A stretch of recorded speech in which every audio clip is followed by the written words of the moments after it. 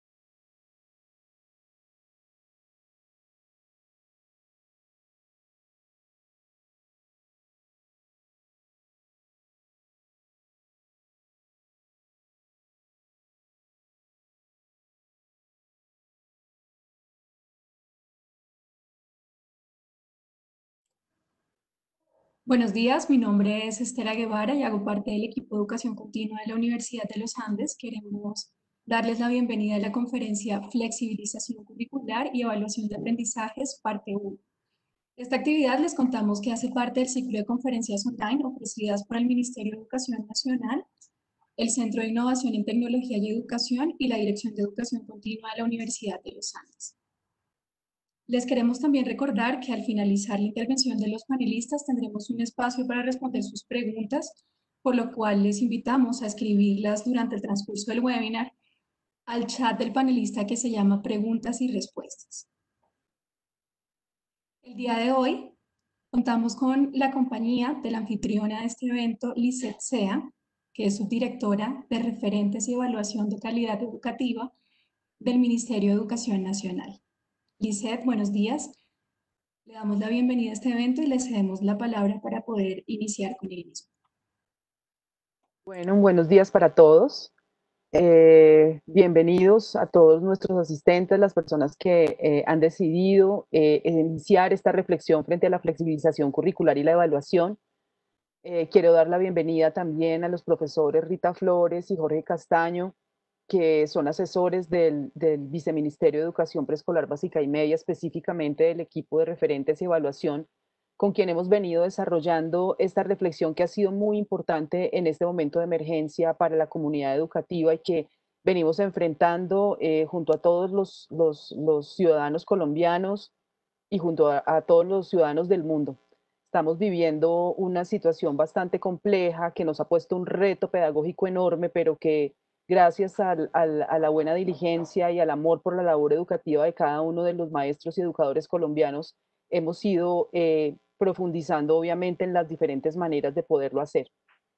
Pensar en la flexibilización curricular eh, nos lleva necesariamente a entender el currículo como un sistema y a poder entender cuáles son esas dinámicas a través de las cuales eh, nosotros hacemos frente a una situación como esta, con Ministerio de Educación, desde el mes de marzo eh, estamos haciendo un acompañamiento directo a cada una de las secretarías de educación. Nos encontramos 19 equipos del Ministerio de Educación haciendo ese acompañamiento para poder eh, estar al lado de cada una de las secretarías de educación y poder acompañar ese proceso de adaptación y de respuesta a las condiciones de cada uno de los territorios nacionales. Eh, también hemos venido fortaleciendo todo el proceso de formación docente y este proceso de formación docente tiene una gran cantidad de alternativas donde la plataforma Contacto Maestro es nuestro vínculo y a través del cual ustedes van a encontrar eh, todos los webinars que nosotros hemos venido desarrollando eh, en el marco de estos procesos de formación. Y como les decía, pensar esa flexibilización curricular nos invita a pensar también diferentes formas de entender qué es lo esencial, qué es lo esencial en este momento eh, en el que el, el, trabajo y el acompañamiento a distancia, el acompañamiento remoto a los procesos de aprendizaje de nuestros niños, niñas y jóvenes nos da la posibilidad de poder entender también que esta condición humana nos invita también a pensar en el desarrollo de ciertas habilidades que no necesariamente habían sido prioridad en la comunidad educativa, como la capacidad de adaptación, eh, la capacidad de toma de decisiones informada y también la capacidad de, reconocernos como el eje y el centro, siendo el niño siempre el centro a través de toda la trayectoria educativa que ha sido una de nuestras grandes banderas en esta administración a todos bienvenidos, eh, agradecerles por su presencia y, estamos entonces eh, atentos pues a iniciar este proceso de reflexión. Muchas gracias.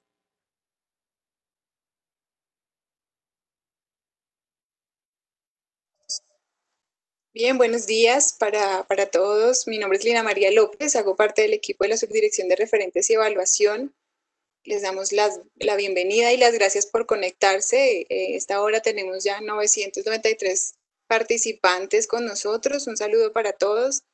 Eh, y a propósito de lo que nos planteaba Lisset en su introducción, para, para, empezar sin más preámbulos con esta conversación que, que vamos a tener esta mañana, quisiéramos empezar por recordar la importancia que tiene el currículo y la evaluación de aprendizajes en nuestras decisiones cotidianas como comunidad educativa, eh, porque son discusiones que sostenemos a diario en unos niveles a veces de mayor formalidad, otros de menor formalidad, pero siempre nos están convocando a las discusiones como docentes. Preguntas como para qué enseñar, qué enseñar, cómo enseñamos, qué enseñamos, qué y cómo evaluamos, siempre están presentes allí eh, en esas decisiones que además tenemos que tomar a nivel de institución educativa. Eh, por tanto, eh, si bien son unas preguntas que siempre están emergiendo con una necesidad fundante, digamos, en las decisiones de, en términos de los procesos de enseñanza, en esta contingencia que estamos atravesando también tiene una relevancia muy, muy grande eh, y necesitamos generar y construir entre todos alternativas conducentes a poder solucionar esas situaciones que se nos pueden estar presentando a diario. Eh, en esa medida está planteada esta discusión, esta, esta eh, conversación en términos de que pensemos esa flexibilización curricular, qué, cómo hacerlo, qué significa la flexibilización curricular. Y en ese marco, la evaluación de aprendizaje es como un elemento fundamental dentro del currículo como sistema eh, para que podamos, eh, como no sabíamos cómo reaccionar a esto, pues construir alternativas como una gran comunidad educativa. Eh, para ello, entonces quisiera empezar por darle la palabra a la profe Rita Flores, que nos va a hablar un poco en relación con esta primera gran pregunta de flexibilización curricular, en cómo se entiende y qué debería tenerse en cuenta, profe Rita, para poder desarrollar un proceso de flexibilización curricular en el marco de la emergencia por el COVID y, en los distintos escenarios o niveles eh, para poder desarrollarla, profe.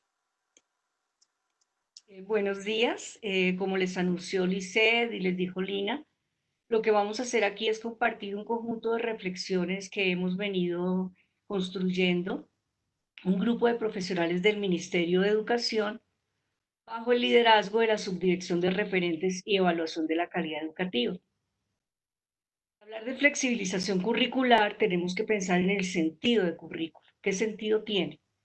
Y eh, eh, adoptamos, eh, digamos, la siguiente construcción. El currículo, como construcción cultural y social, tiene como sentido orientar los procesos de enseñanza y aprendizaje a lo largo de la trayectoria educativa completa con base en las necesidades y los intereses de los estudiantes, docentes y los diferentes actores educativos, así como las potencialidades que brindan el contexto y el mismo territorio. Partiendo del currículo entonces como una construcción social que ocurre cuando una comunidad discute, negocia, transa, acuerda qué, cómo, para qué se enseña, empezamos a preguntarnos acerca de ese proceso en el contexto actual de confinamiento y posible alternancia. Desde esta mirada del currículo se consideran toda suerte de influencias que permean las formas y contenidos curriculares y terminan por definir qué se incluye y qué se excluye. En esta tensión y confluencia ocurre el fenómeno llamado currículo. Por obvias razones, hoy vivimos esta tensión de una manera un poco más fuerte. En estos momentos todo está en discusión y eso también hace parte de lo curricular. Como señala Posner en su análisis del currículo, debemos aprender a enfrentar la carencia de certeza absoluta acerca de su definición exacta. No es solo lo escrito en el plan de estudios o en los documentos estandarizados, es una realidad compleja de múltiples dimensiones en este caso se añade, por ejemplo, la dimensión del hogar, de la familia, del lugar que ocupan los niños, las niñas, los adolescentes, los jóvenes allí. También tiene que ver en este momento con la preocupación por la salud, con los miedos a enfermar, a la muerte, la incertidumbre. Podría decirse que ahora más que nunca el currículo se construye en la incertidumbre. Desde el equipo de trabajo del ministerio, como les mencioné, abordamos el fenómeno curricular en sus dimensiones tanto oficial como operativo. El currículo oficial es aquella base común que tienen docentes y directivos para planear y evaluar las actividades de aula. Quiero hacer un énfasis en el carácter operativo, puesto que es todo lo que los maestros y maestras hacen para enseñar, para promover los aprendizajes, las estrategias que usan para que los estudiantes lo consideren relevante, consideren relevante esa propuesta curricular. Esto quizás sea lo más importante ahora, operativizar el currículo en medio de esta circunstancia. La flexibilización del currículo ocurre en gran medida en esa dimensión operativa. Lawrence Stenhouse es uno de los autores que con más vehemencia ha señalado la importancia de tener una visión operativa del currículo. El currículo no es la intención o la prescripción, sino lo que acontece en situaciones de, reales en el aula. Además, situaciones que están atravesadas por la relación entre docente y estudiante. Para este autor británico es problemática la separación radical existente entre el profesor, por una parte, y los estudiantes, por otra. Es problemático separarlos como dos sistemas de valores distantes e incomunicados, en la mayoría de estas situaciones reales de aula, el docente no puede ser el más, más experto en todas las materias, no puede sabérselas todas. El maestro tiene que también tomar el papel de aprendiz, un aprendizaje que va a construir durante toda la vida y un aprendizaje también que construye con sus estudiantes.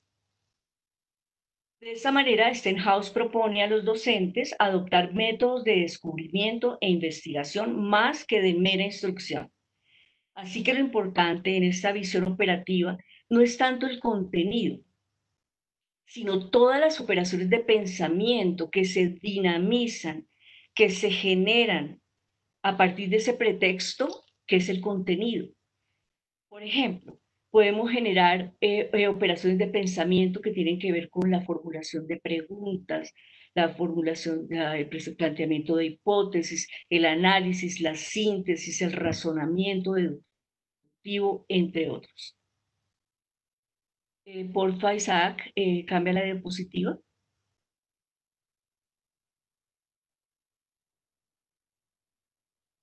Bueno, en esa diapositiva plasmamos eh, lo que comprendemos por la naturaleza del currículo, como decía Alice Lina, además visto el currículo como un sistema complejo, un sistema que, en el que ocurren muchas interacciones, muchos intercambios, el currículo que está, eh, digamos, atravesando, acompañando y a veces determinando esa trayectoria educativa completa que tienen los estudiantes desde la educación básica primaria eh, hasta llegar a la educación eh, universitaria y a la educación para el trabajo y el desarrollo humano. Eh, siempre, digamos, hay que pensar que el currículo es dinámico, que está constituido por una interacción, repito, entre varias, varias dimensiones que se expresan en preguntas.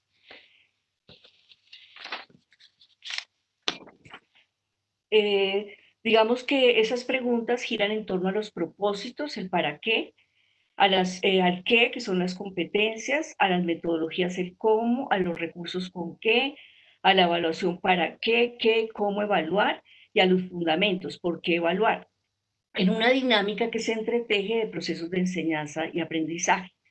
Entonces vemos que esa, ese currículo como sistema, digamos, no solo se refiere al currículo que supuestamente se, se hace vivo en un colegio, sino la relación que existe entre ese currículo, otros currículos nacionales, currículos internacionales y tiene que ver también con la política pública, la gobernanza. Tal como lo describe Sacristán, los planes de estudio son apenas la cabeza de una superficie muy profunda, con su enormidad oculta y sus complejidades sumergidas en muchas capas y aspectos por develar. Un abordaje del currículo en las circunstancias actuales no debe permanecer en la superficie, sino que debe sumergirse para encontrar en realidad el objeto del currículo, que no es, que no es lo que reluce en la superficie, sino todo aquello que late, influye y afecta desde la profundidad. Es como la punta de un iceberg. Uno ve la punta del iceberg, pero realmente el fundamento es lo que no se ve y que tenemos que hacer emerger. Podría decirse que el currículo está siempre en construcción y reconstrucción.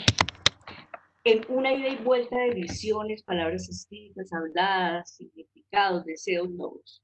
Todo este despliegue de cosas es en últimas lo que significa el currículo como construcción social.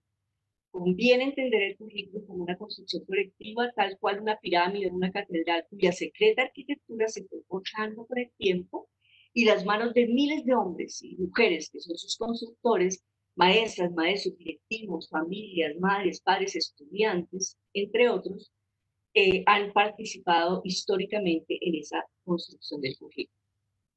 El currículo sería entonces el resultado de miles de acciones concretas de sus co-constructores. Sin embargo, la palabra construcción puede aludir a una estructura estable, sólida, algo terminado, que el currículo dista mucho ser así porque hablamos de flexibilidad curricular, hablamos de un currículo moldeable, maleable, dinámico y sistémico.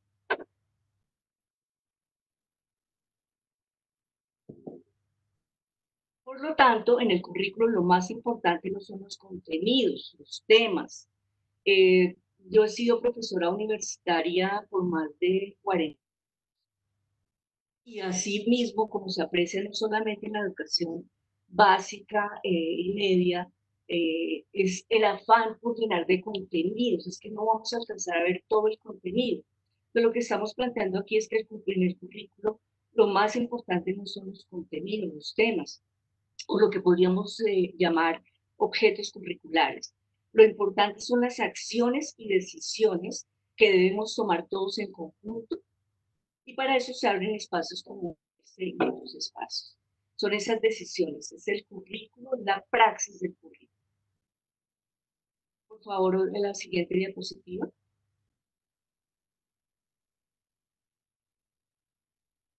Bueno, entonces, la flexibilización curricular, que es el tema que nos convoca en esta primera parte, tiene que ver con varios componentes del currículo. Eso no se nos puede perder de vista. El currículo no es uno solo, el currículo no es un plan de estudios, el currículo es una articulación de muchos componentes. Pues la flexibilización curricular tiene que ver con la adaptación de ajustes razonables al currículo, específicamente en sus elementos para resignificar los procesos de enseñanza y aprendizaje del estudiante a lo largo de la trayectoria educativa. Es interesante ver este concepto de ajustes razonables, porque pues, eh, no, no surge ahorita, no es nuevo, viene de años atrás, pero quiero mencionar como ejemplo el decreto 1421 del 2017, que reglamenta la atención educativa a la población con discapacidad en los niveles de preescolar básica y media. Ese concepto ya, digamos aquí, es definido claramente, pero pensando en esa población. Ahora lo que proponemos en estas circunstancias, independientemente de las circunstancias, que siempre hay que hacer ajustes razonables si se requiere. No, importa la condición y no importa y no van dirigidos a una población. En este decreto 1421 se habla de ajustes razonables, se habla de currículo flexible, se habla del diseño universal para el aprendizaje, eh, que eh, permite que todos y todas las niñas, los niños, los jóvenes, los adolescentes aprendan, independientemente, repito, de su condición. Pero lo interesante es que aquí lo retomamos, ¿sí? Para pensar en cómo permanentemente tenemos que estar resignificando esos procesos de enseñanza y aprendizaje dependiendo de los recursos, de las necesidades y del contexto que se esté viviendo. También esa flexibilización curricular tiene que ver con las mediaciones pedagógicas que promuevan la interacción docente-estudiante en contextos específicos. O sea, ahorita tenemos que analizar muy bien en la siguiente diapositiva les voy mostrar cómo dividir esos escenarios, pero que el currículo no puede ser estático, no puede ser rígido, no puede ser uno solo, o sea, que eh, tiene que esas mediaciones pedagógicas que construyamos, que propongamos, tienen que estar situadas en esos contextos específicos. También esa flexibilización curricular tiene que ver con la pertinencia de roles de los actores educativos. ¿Qué papel juega el estudiante? ¿Qué papel tiene la autonomía del estudiante en estos momentos? La autonomía para aprender, para construir conocimiento. ¿Qué papel tienen los maestros y las maestras? ¿Qué papel tienen los directivos docentes en esta situación? ¿Qué papel tienen, por ejemplo, ahora que es muy relevante la mamá, el papá, el hermano mayor, el hermano menor, cómo se construye esa red de apoyo en esos roles de los actores educativos. También eh, tiene que ver con la priorización de los aprendizajes que los estudiantes necesitan y algunos de ellos no son negociables. Como les decía antes, parece que el currículo se ha vuelto a llenar el que, el que, o sea, no nos alcanza el tiempo, no van a aprender lo suficiente. Tenemos que priorizar esos aprendizajes en esos momentos.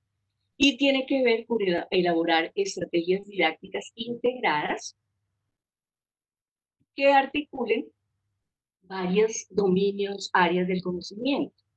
O sea, eh, vemos, por ejemplo, que en algunos eh, grados, eh, especialmente en educación básica, secundaria, los estudiantes, perdón si exagero un poco, pueden llegar a tener de 9 a 11 asignaturas cómo podemos, no solamente en esta condición que estamos viviendo ahorita, sino cómo podemos transformar esas estrategias didácticas para que se conviertan en estrategias didácticas integradas. De la experiencia que hemos tenido en el grupo de investigación cognición y lenguaje en la infancia, hemos tenido la gran oportunidad de asesorar a instituciones educativas sobre sus currículos, al menos en su dimensión de texto, y lo que les mencionaba, eh, eh, hemos visto que este tema produce como, como si fuera un tema un poco acartonado, como bueno, pensemos más bien en los contenidos. Podría decirse que el currículo se caracteriza por una especie de exceso de contenidos en medio de proyectos educativos institucionales, otros proyectos que llegan a la escuela, como el proyecto ambiental, el proyecto de construcción de paz y democracia. Eh, también vemos los programas de cada asignatura, los estándares, las recomendaciones, esto sin contar el mosaico de imaginarios que existen sobre el currículo. En este contexto surgen inquietudes sobre cómo abordar este escenario tan repleto de cosas, pero la vez tan virgen en términos científicos, y cómo superar las creencias o intuiciones que existen sobre currículo y que abruman a cualquiera. Así que ante la pregunta sobre los contenidos a enseñar o no, cuáles incluir o cuáles no, quiero contar una pequeña historia.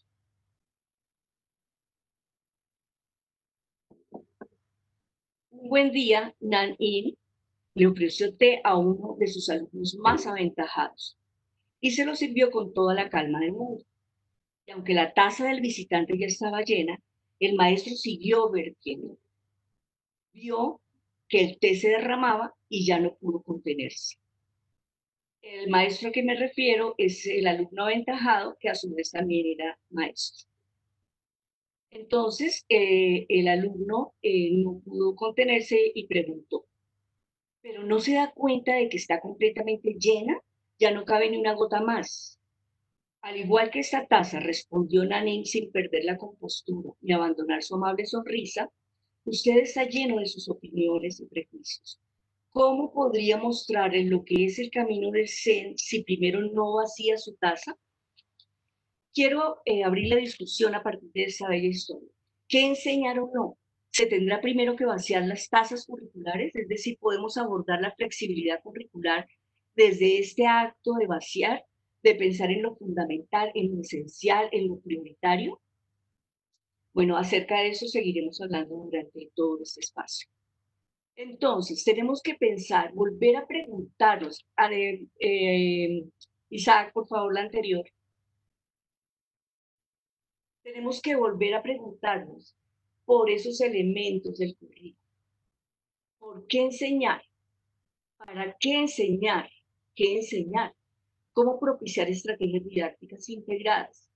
¿Con qué enseñar?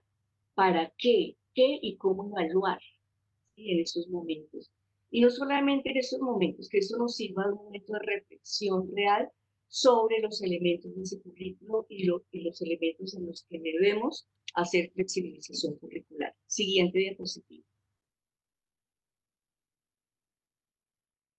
Bueno, como les decíamos antes, y se lo mencionaba Lina y Gilce también, pues hemos encontrado que nuestra diversidad, gran diversidad que hay en este país, eh, este lindo país como tanto, Colombia, eh, hay muchos escenarios, ¿sí? Eh, en los territorios diversos, ¿no? escenarios que, en los que se están dando ahorita procesos de, eh, educativos en casa. Eh, vemos que hay unos escenarios eh, que realmente, esos escenarios, repito, son solamente una construcción, porque puede haber muchos más. Ahora les menciono otros posibles escenarios. Pero digamos que están más construidos esos escenarios sobre el acceso a los recursos a la tecnología, la conectividad. ¿sí? Entonces vemos un escenario uno, en que realmente no hay conectividad, eh, están en zonas generalmente rurales, alejadas, eh, los recursos, eh, digamos, no son los adecuados para poder llevar una educación virtual.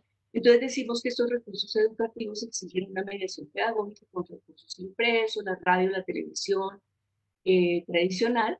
Hay un escenario intermedio donde, digamos, hay cierto acceso a, a tecnología, a conectividad, y entonces podemos hacer una mediación pedagógica con algunos recursos digitales y un escenario 3 donde se supone que los estudiantes en sus casas eh, tienen recursos disponibles tecnológicos y tienen buena conectividad. Entonces aquí en la mediación pedagógica se hace con algunos recursos virtuales.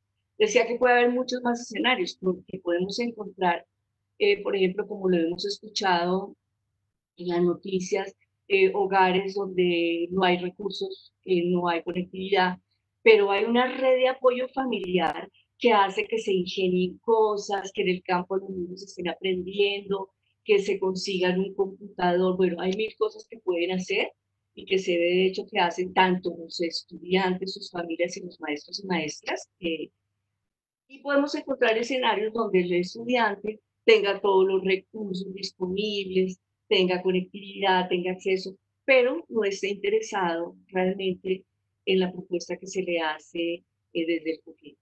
Entonces, por eso decimos que son tres escenarios posibles dentro de muchos más que podemos encontrar.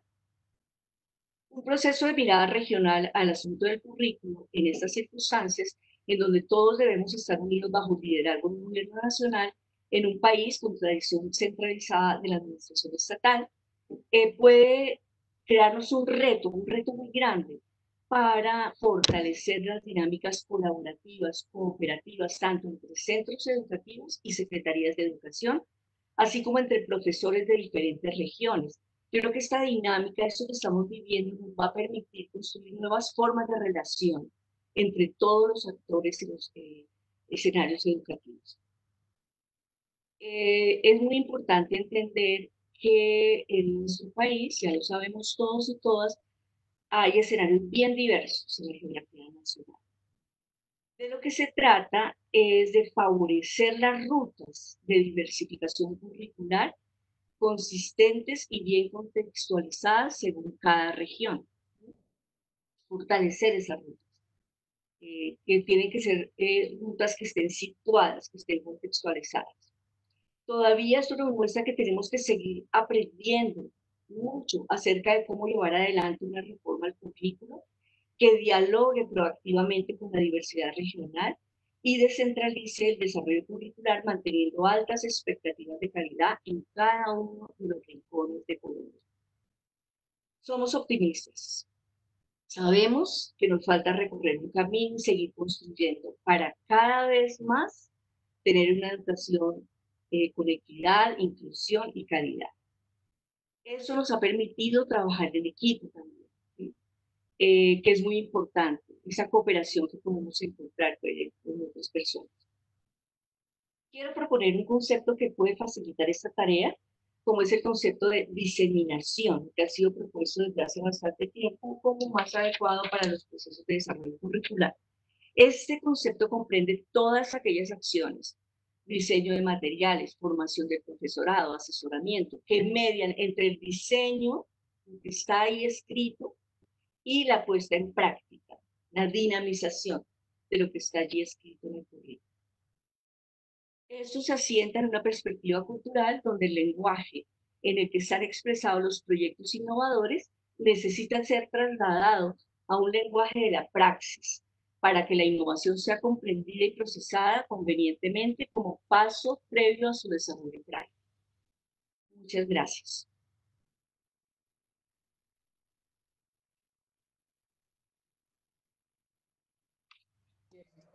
Eh, muy buenos días. Queremos agradecer a la, profesora eh, Rita Flores por, sus aportes. Eh, muchas gracias, profe Rita, por estos aportes que nos ha comentado el día de hoy. también toda esta experiencia que a lo largo de más de 30 años nos ha, ha regalado al país en su rol como profesora de la Universidad Nacional y, con su rol de investigadora eh, en, en, temas de educación, en temas de cognición y todos los aportes que, nos ha regalado alrededor de las recomendaciones a la política pública, eh, tanto en el Distrito Capital como en, otros, en otras entidades territoriales. Y muchas gracias, profe, por, por los aportes en el día de hoy. Eh, muchísimas gracias. A todos nuestros asistentes también queremos eh, darles un agradecimiento muy especial. Tenemos eh, en este momento en la sala a 1.031 profesores de todo el país, eh, de parte de la ministra de Educación, la doctora María Victoria Luna, y, del, de la viceministra, la doctora Constanza Larcón, un saludo muy especial. la, profe, la profe Rita nos, nos ha comentado acerca de, del currículo, acerca de la construcción social del currículo, cómo, cómo eh, este, este no es entendido acerca de, solamente un plan de estudios, sino que es una construcción social eh, en, la que, en la que intervienen todos los miembros de la comunidad educativa, eh, en la que nos hacemos unos cuestionamientos acerca de qué, para qué, por qué, cómo enseñar, para qué, qué, cómo, con qué evaluar. Y entonces aquí toma eh, más importancia el hecho de que no son los contenidos lo más importante del currículo, sino que son nuestros estudiantes, son los niños, las niñas, los jóvenes y los adolescentes el centro de la actividad docente. Y eh, en este sentido, en épocas eh, como esta, donde tenemos que generar unas, unas contingencias muy especiales, pero también en otros momentos, en todos los momentos, nosotros tenemos que estar pensando en esos, en esos ajustes que nosotros tenemos que hacerle al currículo, en la pertinencia de los roles de los actores educativos, en la priorización de los aprendizajes según las necesidades eh, del contexto y las necesidades de los estudiantes, en qué estrategias didácticas podemos entrelazar, cuál es la importancia de generar un trabajo por proyectos, cuál es la importancia de generar secuencias didácticas integradas a través de mediaciones pedagógicas que por esta época de coyuntura desde el ministerio proponemos que sean eh, especialmente con la ayuda de recursos impresos, pero pues que también incluyan los recursos digitales, los recursos virtuales. Entonces, esta parte es muy, muy importante eh, tenerla presente y agradecemos entonces a la profe Rita eh, las reflexiones acerca de la de la eh, flexibilización curricular. Y pues para complementarlo, entonces eh, vamos a tener en los aportes del profesor Jorge Castaño, el profesor Jorge Castaño nos va a comentar acerca de, de, las alternativas de evaluación en los aprendizajes que son más pertinentes en esta coyuntura. el profe nos va también a regalar un poco de esa experiencia que tiene como licenciado en matemáticas y física, eh, los, los, aportes que tiene la experiencia en su rol como docente de la Universidad Javeriana eh, en el grupo de investigación de la Facultad de Psicología. Entonces, pues le cedemos la palabra al profe Jorge y bienvenido. Buenos días, colegas. Eh, en la pregunta que se hace y que orienta mi intervención, quiero manifestarles que me parece que en la base hay una inquietud lícita pero eh, quiero pedirles un favor. Antes de contestar la pregunta, eh, voy a intentar hacer unas consideraciones sobre las relaciones entre enseñanza y evaluación para que la respuesta quizás no quede en, en el plano de ofrecer algunas técnicas como si pudiéramos resolver el problema de la evaluación en ese nivel. Pasamos a la siguiente diapositiva.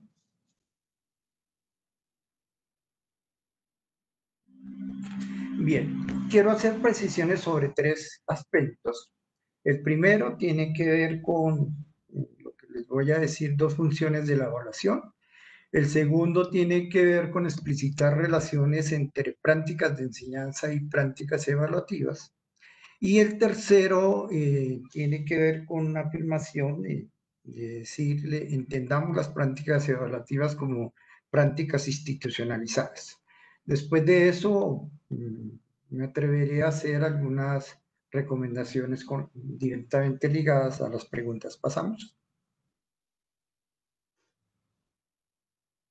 Bien, les propongo que mm, veamos dos funciones de la evaluación. A la una podemos reconocerla como la función de control y la otra como función de comprensión. Entonces vamos a ver cada una de estas dos funciones y y sus relaciones. Pasamos, por favor. Bien, la función de control, tal como el nombre lo indica, tiene eh, la intención eh, de hacer un control. ¿Un control de qué? Del proceso que se sigue y ver qué distancia existe entre ese y lo que se ha prefijado como metas, como el mismo proceso y como medios, y hacer un control, también medir la distancia entre lo, el producto obtenido y el producto esperado. Eh, a lo largo de esto, de, desarrollo, se toman decisiones, se introducen los correctivos con una intencionalidad de disminuir la distancia entre lo obtenido y lo esperado. ¿Qué sería esto en, en el plano de la enseñanza? Se fija un currículo, se hacen todos los esfuerzos porque el currículo sean explicitaciones lo más claras y precisas. Y al final eh, se verifica el producto obtenido y fundamentalmente orientado a certificar al estudiante a promover. En la mitad del, proceso muchas veces no se tiene en cuenta eh, mm, todo eh, lo que implica su desarrollo como fenómeno social. Y muy particularmente, por ejemplo, todo el trabajo de transposición didáctica que, que se deriva de Vernió eh, nos muestra que es un proceso, unos cambios y unas transformaciones necesarias entre el currículo pensado, el currículo planeado y finalmente el currículo que se ejecuta. Vemos el siguiente La evaluación como comprensión, tal como su nombre lo indica también, lo que busca es describir las transformaciones que se van produciendo a lo largo de un proceso y producir nuevas explicaciones de una vez que se ha desarrollado ese proceso. Obviamente aquí también se planea, pero la planeación cumple eh, un, un, objetivo me parece un poco más cercano a, a lo que escuchábamos a la profesora Rita en términos de que tiene un carácter provisional. Eh, también se analiza, bien sea a lo largo del proceso, aquí con mayor razón, y al final del proceso, pero hay una posibilidad de modificar cuantas veces sea necesario las metas, corregirlas y, y sobre todo hacer un esfuerzo por entender esas nuevas comprensiones que se están, se están generando con el desarrollo del proceso. ¿Qué sería esto en el caso de la enseñanza? Muy bien importante, el currículo es una hipótesis es una hipótesis de trabajo y como tal se, se mantiene a lo largo del desarrollo del proceso. Eh, busca comprender eh, al final las transformaciones que se producen como desarrollo de ese proceso y aquí hay un reconocimiento de todas las transformaciones necesarias que se, que se producen eh, al, implementar el, el, el currículo como hecho social y en particular, repito, eh, eh, todos los hechos de transformación, de transposición didáctica que, de los que nos habla Bernió. Eh, pasamos, por favor. Bien. El, el, segundo aspecto que quiero es ver las relaciones entre prácticas de enseñanza y prácticas evaluativas. Las vamos a ver en dos direcciones. La primera, la enseñanza determina en gran medida a la evaluación. O sea, no, no, no estoy afirmando ninguna otra cosa distinta que decir que lo que se evalúa no puede ser nada distinto a lo que nos propongamos alcanzar en el proceso pedagógico. Según sea la orientación que se le dé a la enseñanza, también será la que se le dé a la evaluación. Lo que se haga o deje de hacer en materia de evaluación es consecuencia directa de cómo se conciba y actúe pedagógicamente.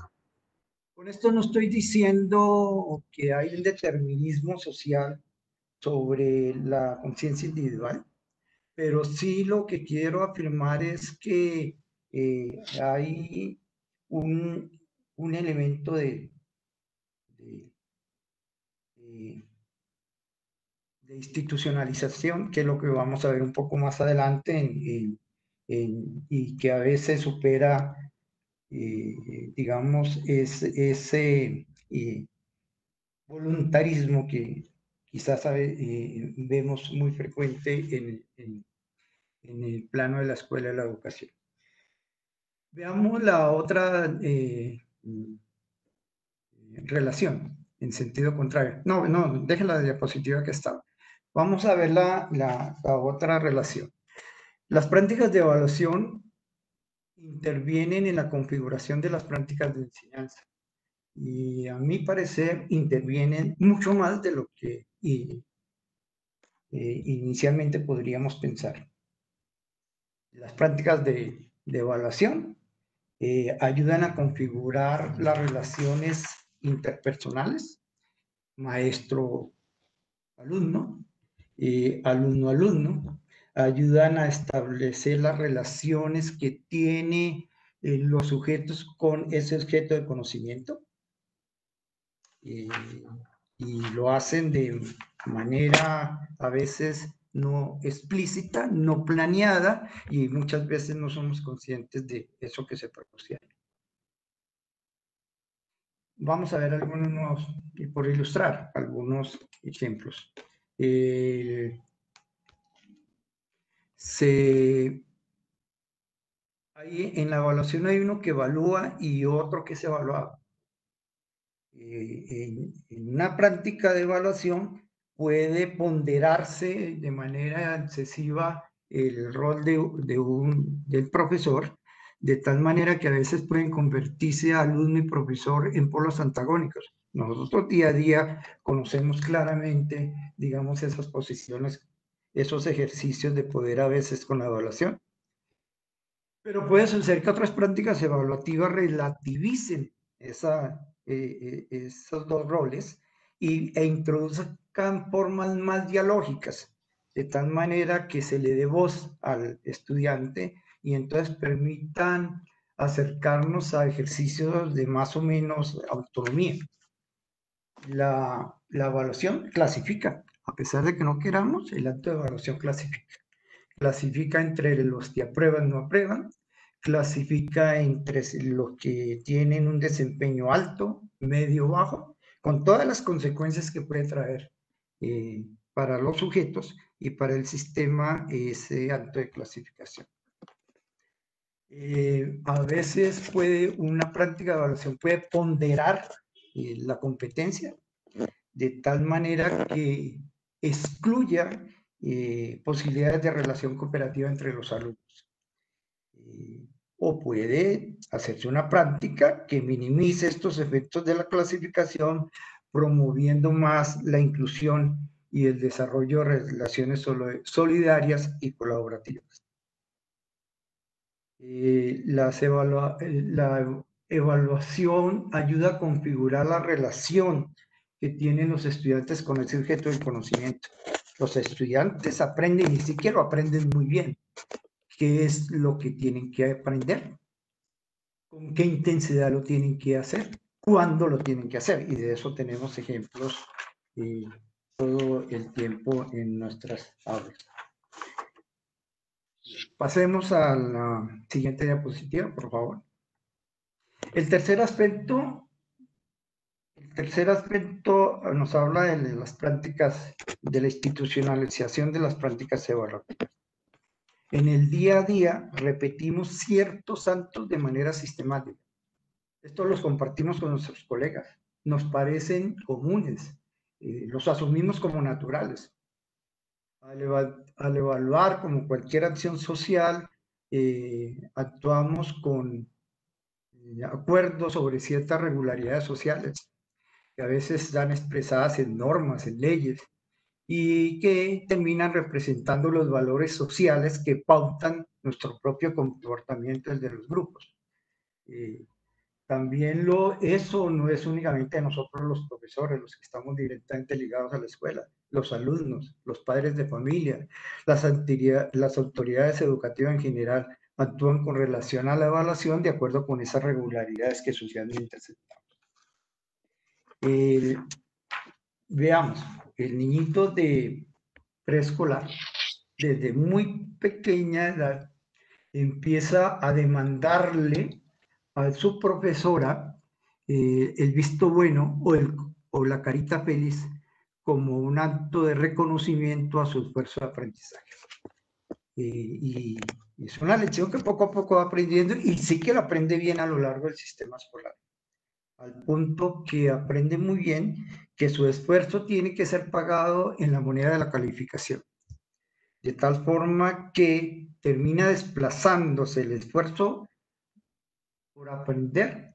Eh, no es tanto por aprender y comprender, sino por, por aprobar la asignatura. Y de eso tenemos manifestaciones diarias en nuestros estudiantes. Eh, la, eh, desde temprano aprenderá que el acto de evaluación no le pertenece, que eso es ejecutado por, por un otro, un tercero, en este caso el profesor, en la familia, sus padres de familia.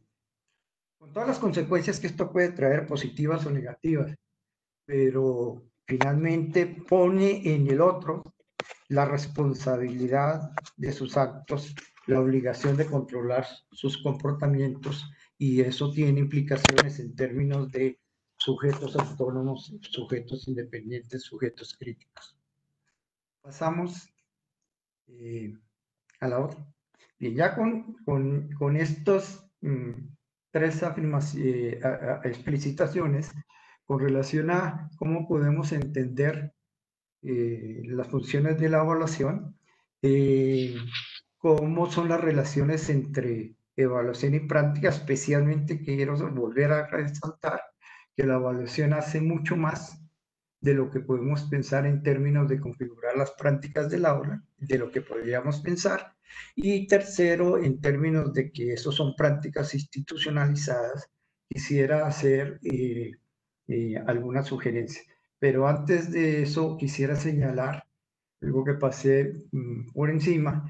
El, eh, las dos funciones de la evaluación eh, les recomiendo que las veamos no como funciones opuestas, antagónicas o excluyentes.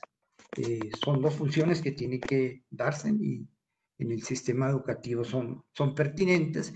La dificultad está cuando empieza a asumirse una de estas funciones como preponderante y, y a veces de manera exclusiva y, y, empieza a generarse todas las disfuncionalidades que podemos conocer muchas veces en nuestras prácticas pedagógicas. En nuestro medio, eh, prácticamente la evaluación eh, le damos la función, en muchos de los casos, a, la, a la, función de control. Bien, hecha esta aclaración, veamos eh, algunas sugerencias. Yo le digo a mis colegas, introduzcamos pequeñas modificaciones en la enseñanza para producir pequeñas modificaciones en la evaluación.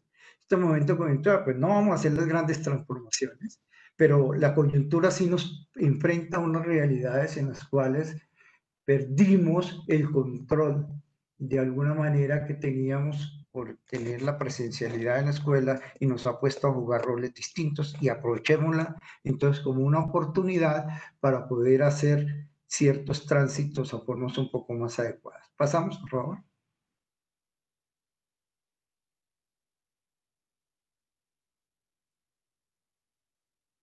Les propongo, intentemos modificar el contrato pedagógico. Promovamos el aprendizaje autónomo. No necesitamos. O sea, si, si, si, no, si no hacemos el esfuerzo por eso, eh, mm, no vamos a poder avanzar con nuestros chicos. Esta realidad nos enfrentó a eso.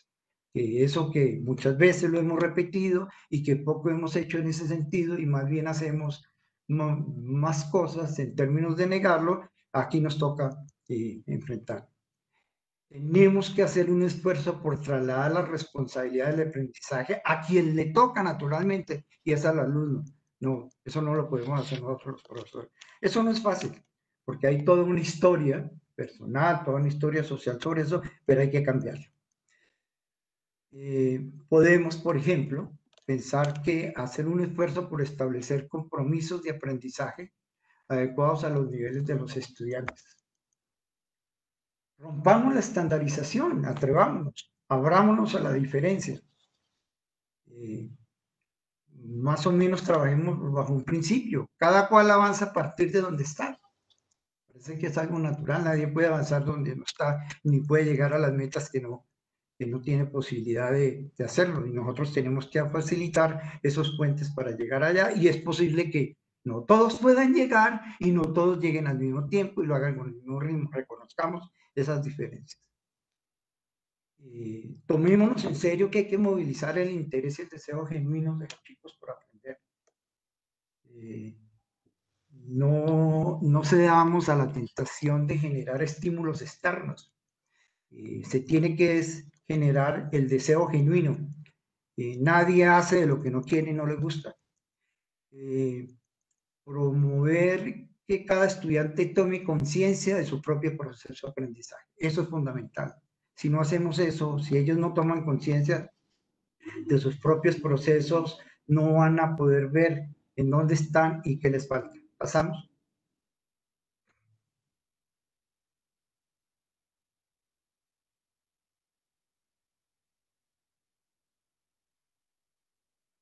Incluso se dará momentos en que tenemos que reconocer que es necesario modificar las metas de aprendizaje inicialmente pensadas para todo el grupo o quizás para algunos en particular. Pero no nos dé miedo a tomar esas decisiones, hay que modificar esas metas. O sea, recuerden que había dicho que desde una perspectiva de comprensión, el, el currículo debe ser asumido más como una hipótesis de trabajo, que más que como unas metas que se prefijan y con anterioridad. Claro, la, la cuestión no es fácil. Eh, ¿Cómo podemos eh, modificar esas metas en términos de poder conocer las comprensiones de los estudiantes? No es tan sencillo hacerlo, pero habrían eh, dos ideas que me parece que pueden ser importantes. Entendamos que una respuesta equivocada de un estudiante no es eh, únicamente fruto de que no sabe la respuesta correcta, obviamente, por eso la está produciendo, sino lo que más importante es averiguar por qué la considera correcta. qué hay en el pensamiento del estudiante para que él, al producir esa respuesta, considere que es una respuesta correcta. Estoy hablando de una respuesta genuina. Eh, no estoy hablando de esa respuesta que el niño repite por memorización, por satisfacer la exigencia que le hacemos nosotros los adultos. Y si logramos descubrir eso, si logramos aproximarnos a eso, me parece que tenemos la posibilidad de entender qué podemos hacer para ayudar a reorganizar, reestructurar ese pensamiento para que ese estudiante, él mismo, comprenda la razón de la incomprensión de su respuesta. Y ahí sería el punto clave en el cual podríamos actuar.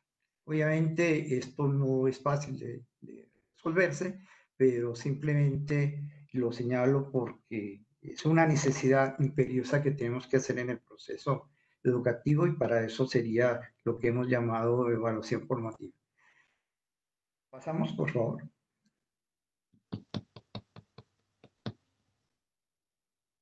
Segunda sugerencia. Introduzcamos herramientas que ayuden a los estudiantes a tomar conciencia de su propio proceso. Ya lo había dicho anteriormente, la necesidad. Entonces, hay que hacer algo. Y es que tenemos que ayudarle, tenemos que enseñarle a nuestros estudiantes que puedan eh, adquirir conciencia de su propio proceso de aprendizaje. ¿Pasamos? Bueno. Carlos Eduardo Vasco hace una afirmación y es que un proceso es inacible, un proceso es continuo. Y la, única manera de poderlo aprender es poder tomar instantáneas del proceso en distintos momentos. Ayudémosle a nuestros estudiantes a que puedan tomar instantáneas de eso, para que puedan comparar en un momento dado la producción que están haciendo con relación a la producción que hicieron en el momento anterior, puedan establecer las semejanzas, las diferencias, identificar en dónde está el avance y por qué avanzar. Hay instrumentos, hay varios eh, instrumentos para hacerlo los portafolios y las rúbricas creo que nos pueden ayudar en ese proceso. Claro, como todas las técnicas, terminan configurándose y poniéndose al servicio de las maneras como comprendemos eh, los fenómenos. Entonces, los portafolios que estoy tratando de proponerles no son los portafolios que cumplen única y exclusivamente la función de saber si el estudiante hizo o no la guía y qué fue lo que hizo o no allí. Eh, aquí habría, si quiere, adicional a eso, le estamos proponiendo que en los portafolios los estudiantes puedan tener registros de lo que está pasando para que puedan comparar los diferentes momentos que están viviendo a las, para acercarse a la solución de un determinado problema.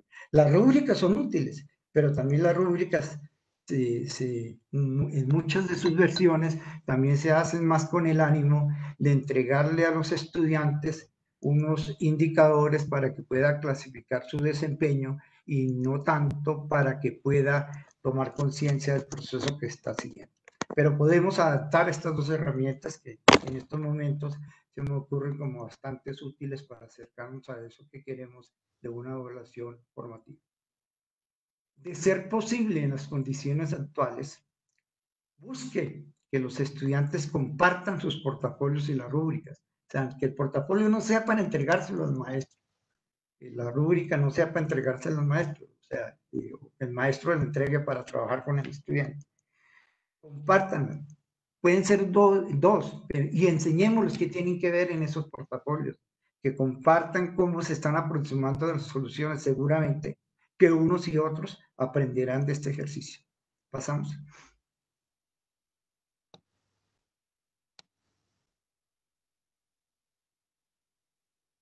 Sugerencia 3.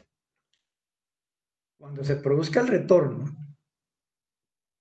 a las escuelas, una recomendación que creo que les hacemos de manera muy especial, no reduzcan las sesiones presenciales a la aplicación de pruebas.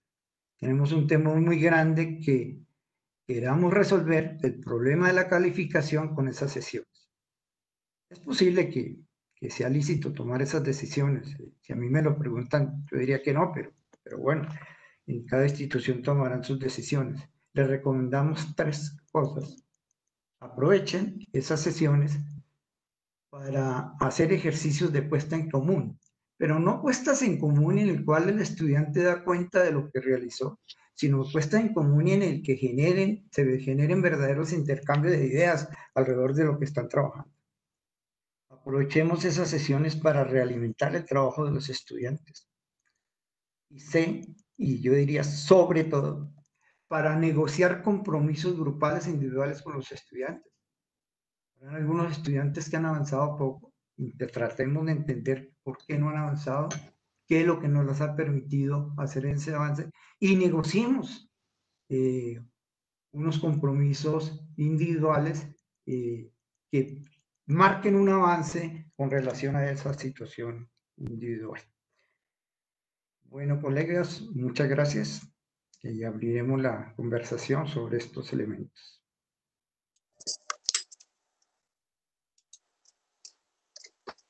Bien, profe Jorge, muchísimas gracias por su intervención. Creo que eh, recoge muchísimas de las inquietudes que hemos podido identificar en los maestros y tenemos muchas más en el chat, eh, las cuales vamos a ir eh, en este momento empezando a contestar. Eh, pero antes de eso quisiera recoger un poco la invitación que nos hace el profe Jorge en sus tres puntos clave. Eh, en primer lugar, eh, en esta reflexión sobre a qué función de la evaluación le estamos apuntando, teniendo presente estas dos funciones, la de control y comprensión, y cuál es la que privilegiamos a la hora de diseñar nuestro trabajo pedagógico. Eh, en segundo lugar, esa relación, si se puede llamar interdependiente, entre los procesos de enseñanza y los procesos de evaluación. Y posteriormente, cómo nos invita a pensar que si se hacen pequeños cambios en la enseñanza, seguramente van a estar eh, emergiendo también en los procesos evaluativos. Y, eh, y cómo ese carácter de institucionalización que tienen las prácticas de evaluación que necesariamente condicionan la, manera en cómo nos relacionamos con este proceso. Eh, esto también implica pensarse esto a nivel de qué cultura de evaluación hay a nivel de, de los establecimientos educativos. Eh, y de la mano con esto, pues las alternativas muy concretas que los maestros, eh, por los que los maestros están preguntando en torno a cómo vamos a poder hacer o aplicar unas estrategias de evaluación pertinentes en esta coyuntura, en donde nos presenta la intención, digamos, de trabajar mucho más de manera más eh, fuerte el aprendizaje autónomo en los estudiantes, eh, reconfigurar, repensar, un poco evaluar nuevamente esas metas de aprendizaje que se han concebido en un escenario bastante distinto al que estamos actualmente y eh, cómo eso materializarlo en alternativas como la rúbrica, los portafolios con esta cuestión de lo instantáneo que pueda después ser un objeto de revisión, reflexión y trabajo cooperativo, profe. Eh, muchísimas gracias por, por esa intervención. Eh, vamos a dar paso entonces a la ronda de preguntas.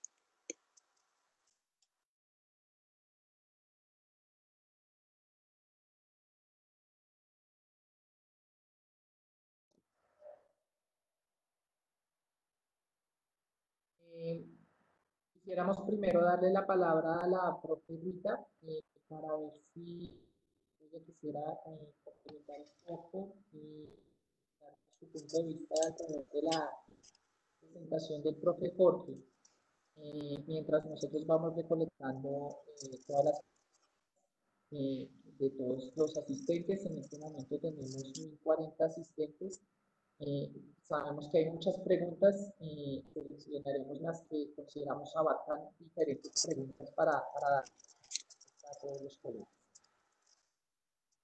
Isaac, Isaac, ¿me escucha? Eh, es que no le escuché bien al principio que me da la palabra para que comente la intervención del profe Jorge. Sí, profe, si su merced de pronto quiera complementar o agregar algo a la intervención del profe Jorge.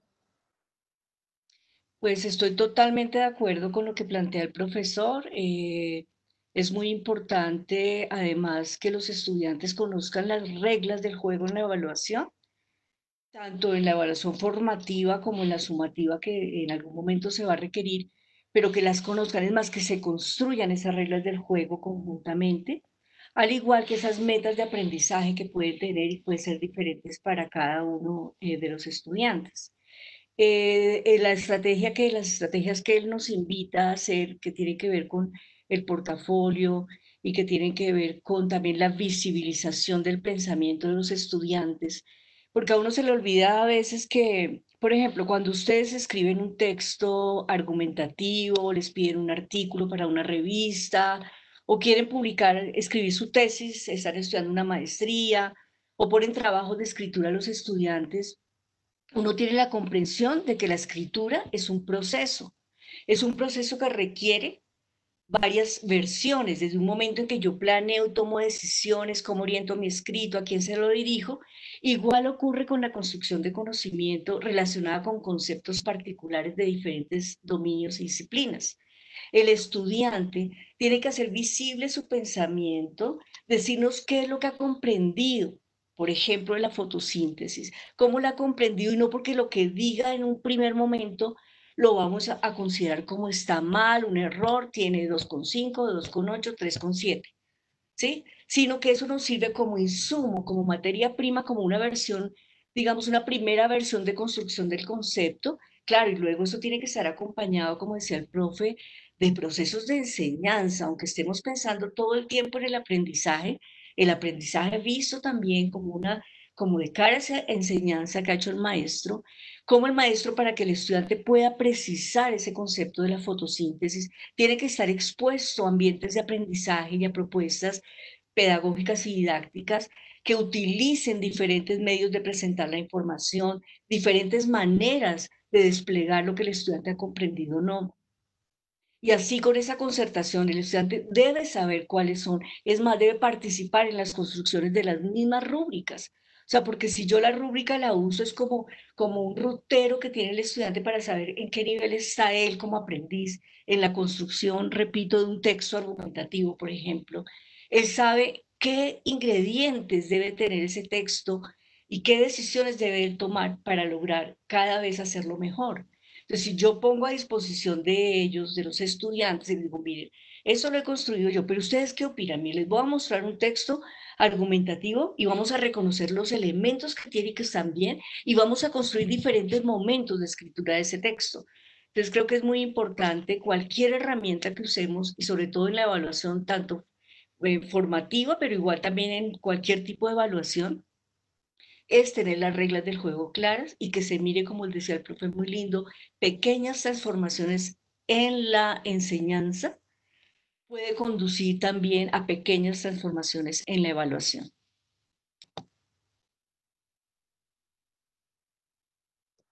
Muchas gracias, profe Rita, eh, por los aportes. Eh, en este sentido, eh, queremos entonces empezar la ronda de preguntas y para eso le damos a, a la doctora Lizeth Sea. vamos a, iniciar con dos preguntas, una planteada por Isabel Cristina Cabal, quien comenta, fundamental la reflexión en el proceso de flexibilización curricular, en la cual nos aparece en nuestra realidad, es un factor muy tensionante en la construcción del currículo en el proceso de evaluación externa. Prueba saber cómo mediar este factor y la flexibilización, ya que estas pruebas son una gran oportunidad para nuestros chicos de la educación pública de continuar con sus proyectos de vida en la formación universitaria y la otra pregunta planteada por eh, Lina que dice, los estudiantes tienen la concepción de que en este momento nadie puede perder el año. Esto ha llevado a que el escenario del que hablaba la profesora Rita, los estudiantes tienen todas las condiciones para seguir su proceso en casa, pero no tienen interés en hacerlo, sea más frecuente. ¿Cómo evaluar entonces en situaciones así? Bueno, muchísimas gracias pues a todas las personas que nos están dejando sus inquietudes. Eh, y digamos que quiero combinar eh, estas dos eh, preguntas que se hacen teniendo en cuenta lo que nosotros hemos visto que está sucediendo en este momento en territorio. porque claramente y, de manera contextual estamos encontrando unos escenarios que nos permiten identificar el elemento clave que está marcando la ruta a la hora de pensar los, los qué y los cómo, eh, y es las posibilidades de interacción y de realimentación que tenemos con los estudiantes. ¿Cuál es la gran diferencia en este momento? Las mediaciones a través de las cuales estamos pudiendo tener acercamiento y, alguna clase de contacto con nuestros estudiantes cuando es el caso.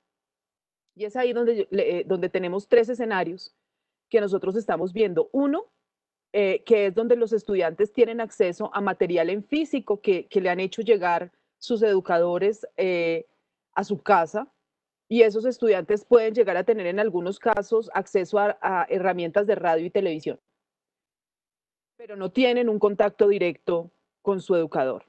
Un segundo escenario donde tienen contacto con su educador y, eventualmente con sus compañeros eh, de estudio a través de eh, mediaciones eh, como redes sociales, WhatsApp, el mismo teléfono, mensajería de texto, inclusive los maestros están llamando a sus estudiantes cuando les es factible para poder mantener contacto con ellos, que también tienen acceso a material en físico, radio y televisión, y el escenario más favorable, que es el escenario donde pueden llegar a tener encuentros sincrónicos gracias a la conectividad y a posibles plataformas. En esos tres escenarios nos estamos moviendo y la flexibilización nos tiene que llevar a también a entender lo que es factible y lo que es posible que los estudiantes logren con su aprendizaje en casa. No podemos, lo han dicho tanto el profe Jorge como la profesora Rita, no es factible que pensemos que lo mismo que planeamos al iniciar el año, los estudiantes lo van a lograr tal cual eh, cuando no tenemos la, mediación directa de nuestro docente. Eh, en esos tres escenarios nos estamos moviendo y me parece clave la pregunta que hacen por la evaluación de las pruebas saber ¿por qué se puede llegar a ser un gran referente para nosotros al momento de pensar en la flexibilización? No en la prueba, sino en los aprendizajes que se priorizan y que son fundamentales. Yo entiendo que hay mucha angustia por, por el tema de las pruebas Saber 11, porque pruebas Saber 359 no vamos a tener, dado que no tenemos una normalidad académica para poder hacer una aplicación. Pero las pruebas Saber 11 llegará un momento donde se puedan dar pero con la claridad de que las pruebas Saber 11 evalúan competencias que se han desarrollado a lo largo de toda la trayectoria educativa. Y puede que un estudiante de grado 11 se encuentre inquieto debido a la situación que es imprevista para todos y a la cual no estábamos acostumbrados, pero las pruebas Saber 11 evalúan lo que el estudiante ha desarrollado a lo largo de toda su trayectoria y esta tiene que ser una gran motivación para todos los estudiantes. Es lo que él ha desarrollado durante todo su proceso educativo no es solamente lo que pudo hacer en un grado 11, ¿cierto? Entonces ahí es donde nosotros tenemos que pensar que hay una gran cantidad también de habilidades y actitudes que es importante eh, desarrollar allí. Entonces, es importante también pensar en esas condiciones y esos escenarios para saber de qué manera flexibilizamos e inclusive cómo flexibilizamos inclusive el sistema institucional de evaluación. Porque no podemos pensar que en esos escenarios, por ejemplo, un criterio como la asistencia eh, pueda llegar a ser tenido en cuenta para la promoción o no de estudiantes. Pensar en este momento en que un estudiante diga que no va a perder el año o que, o que todos vamos a pasar. Yo creo que lo más, lo más importante aquí es que reflexionemos cuál es el papel que está, que está cumpliendo cada uno de los actores del sistema educativo frente al proceso y como lo decía el profesor Jorge, el estudiante tiene que empoderarse y tenemos que darle herramientas para eso. Nosotros en la escuela siempre tenemos, entre comillas, el control cuando tenemos y, estamos en nuestra aula de clase, tenemos la posibilidad de generar las interacciones, las reflexiones y tenemos la posibilidad también de poder identificar cuáles son esas características particulares de cada estudiante, su manera de pensar y sus modos de hacer. Pero en este momento tenemos que darles herramientas para que ellos aprendan a conducir el ejercicio, para que ellos identifiquen y, hay que ser muy claro con los estudiantes y yo creo que ese es un elemento fundamental aquí que ellos conozcan cuáles son esos criterios de valoración que vamos a tener en cuenta, eh, que ellos identifiquen eh, cuáles son eh, esas posibilidades que ellos tienen también de, identificar a través de las acciones o las actividades que les planteemos, cuáles son los elementos fundamentales a los que él le debe, le debe apuntar.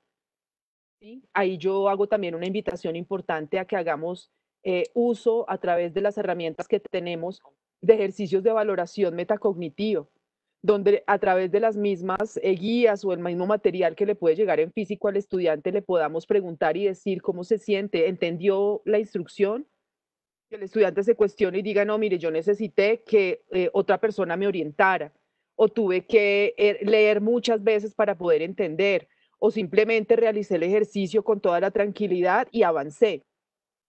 tenemos que darles esa posibilidad de, de, como no tenemos nosotros la posibilidad ni el control, ni necesariamente unos encuentros sincrónicos para poder hacer la, la, la, realimentación o la aclaración de inquietudes, digamos que el material que va en físico tiene que ser supremamente eh, puntual para que el estudiante entienda cómo lo debe hacer, ayudarnos también con o recomendaciones para los padres de familia para que ellos también sepan cómo ayudarnos y apoyar el proceso.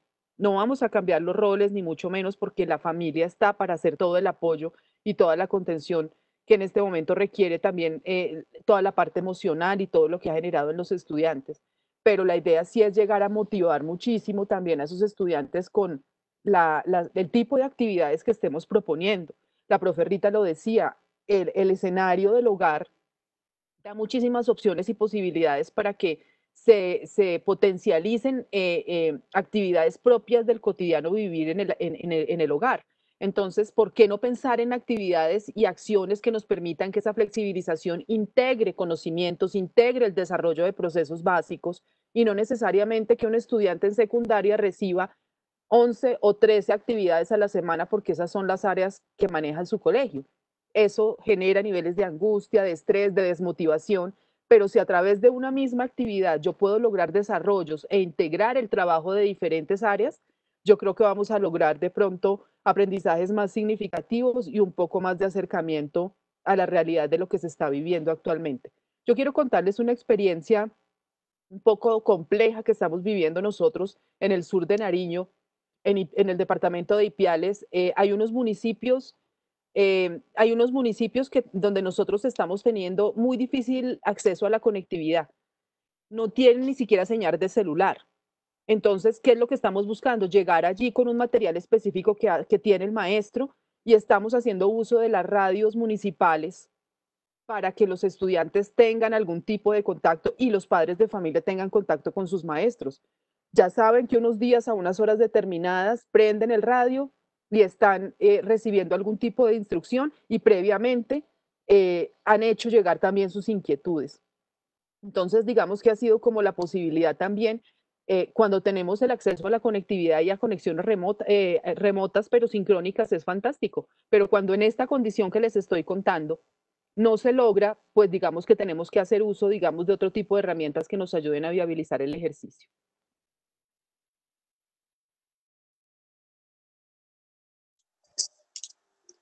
Muy bien, muchas gracias, Lizeth. Y quisiera darle la palabra a la profe Rita en este momento con una serie de preguntas enfocadas al tema de eh, esta contingencia y la flexibilización curricular en, el, escenarios rurales.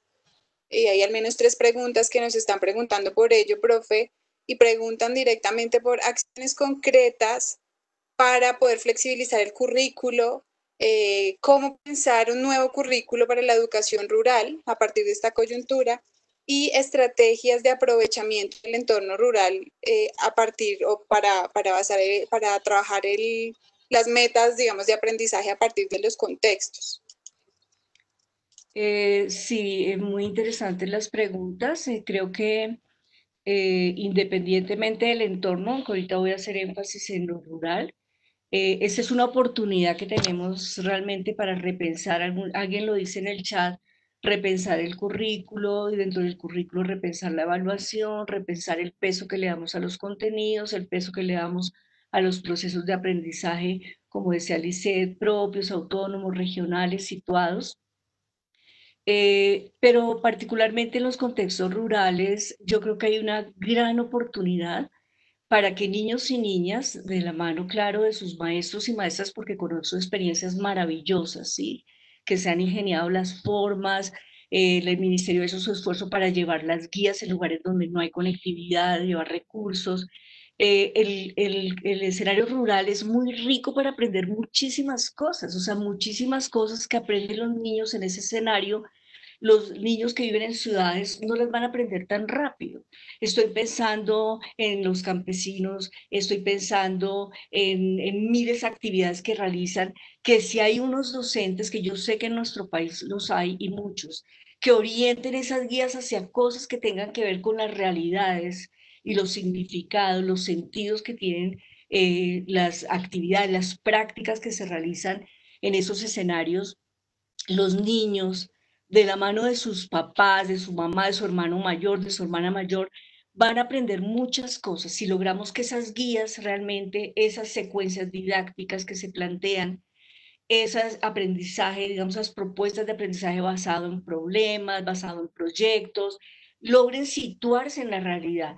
Porque a veces uno escucha que dicen, pero bueno, es que ni siquiera los papás y las mamás eh, saben leer y escribir. Miren, los papás y las mamás, independientemente de donde estén, independientemente de los conocimientos, digamos, que tengan, que aquí estamos refiriéndonos a conocimientos académicos, ellos saben muchísimas cosas, o sea, si logramos enganchar realmente en esas secuencias didácticas, en esas, en esas guías que proponemos, que los papás y las mamás, la abuela, bueno, quien esté con los niños y las niñas, con los jóvenes, eh, podemos lograr que, que haya mucho aprendizaje. De pronto, como decíamos antes, no los aprendizajes que estamos eh, pidiendo que ocurrirían en el aula de clase, que a veces tampoco ocurren en el aula de clase.